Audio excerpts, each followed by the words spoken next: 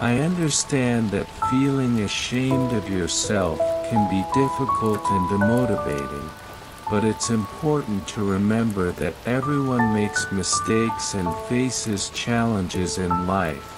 Instead of dwelling on your past actions or shortcomings, it's crucial to focus on self-improvement and personal growth.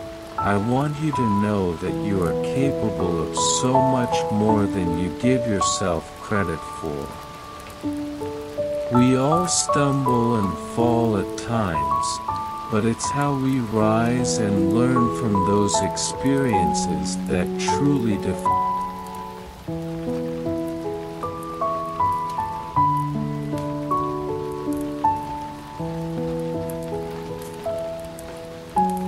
Instead of dwelling on shame and self-doubt, redirect your energy towards self-compassion and forgiveness. Treat yourself with kindness and understanding, just as you would a dear friend.